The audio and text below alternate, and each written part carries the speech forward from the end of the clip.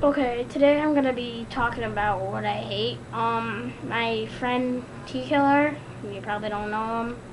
Um, he also has a thing, shows one glitch. He does the Skull Man dance. Um, well, today I just wanted to tell you that I'm a little bit new.